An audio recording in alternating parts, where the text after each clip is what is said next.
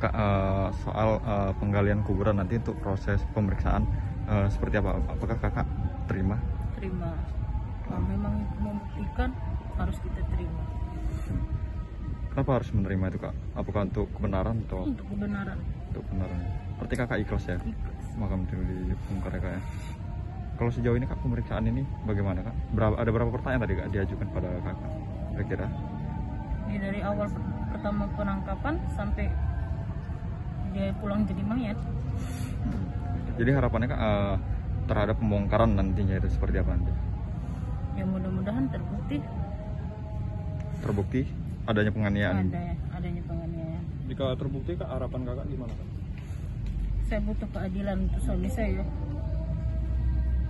Artinya sampai saat ini kakak yakin bahwa suami kakak itu meninggal karena dianiaya. iya karena pertama kali saya melihat pun dia sehat dia nelpon saya pun pagi itu sehat. Malam saya dinyatakan dia sudah meninggal. Terkait pernyataan dokter yang menyebutkan dia saya tidak bertemu dengan dokter.